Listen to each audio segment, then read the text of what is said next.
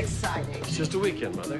Dad, it's your first romantic weekend away with Beckett. It's a big deal. Okay, well, no pressure, and let's just hope it happens. It's 4.30 now. If she doesn't catch a murder by 5 o'clock, we are in the clear. So, what do you have planned? I, what do you mean? You don't have a plan. The plan is to do nothing, to relax. That's not a plan. Women don't like it when men don't have a plan. Hey, I'm in college now. I'm living in the world. Plus, I read a lot of magazines. Not planning is really bad. Okay, She's right.